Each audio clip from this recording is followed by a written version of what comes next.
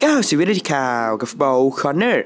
งานหนักเสมอ เยอร์เกนคลอปชี้แมนยูมีพลังแฝงช่วงวิกฤต สนับสนุนโดย a p k 24ลุ้นมัน ลุ้นสนุก ครบวงจร พักยก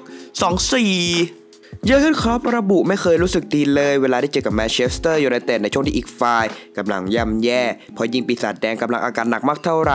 ฟอร์มก็จะยิ่งดีขึ้นมากขึ้น เวลาลงเล่นในเกมแดงเดือด เยอร์เกนคลอปผู้จัดการทีมลิเวอร์พูลกล่าวว่าแมนเชสเตอร์ยูไนเต็ดมักจะทำผลงานได้ยอดเยี่ยมเวลาเจอกับทีมของตนในช่วงที่ปีศาจแดงกำลังอยู่ในช่วงฟอร์มตกลิเวอร์พูลมีคิวเปิดอารังแอนฟิลด์เจอกับแมนเชสเตอร์ยูไนเต็ดในวันอาทิตย์ที่ 17 ธันวาคม 2023 นี้ ซึ่งหลายคนฟันธงว่าหงส์แดงลิเวอร์พูลจะเก็บชัยชนะได้เพราะฟอร์มโดยรวมของพวกเขาเหนือกว่าคู่อริตลอดการเยอะพอตัว ผมไม่เคยชอบใจเลยเวลาที่สื่อเล่นพาดหัวข่าวเกี่ยวกับเรื่องที่แมนเชสเตอร์ยูไนเต็ดกำลังอยู่ในสภาพที่ไม่ดีในช่วงก่อนที่เราจะเจอกัน เพราะมันกลายเป็นว่าในเกมที่เจอกันนั้น พวกเขาสามารถแก้ไขปัญหาสถานการณ์ได้ ผมไม่ชอบใจเลยสักนิด ยิ่งหลายคนพูดแย่ๆเกี่ยวกับพวกเขามากเท่าไหร่ พวกเขาก็จะยิ่งแข็งแกร่งมากขึ้นเท่านั้น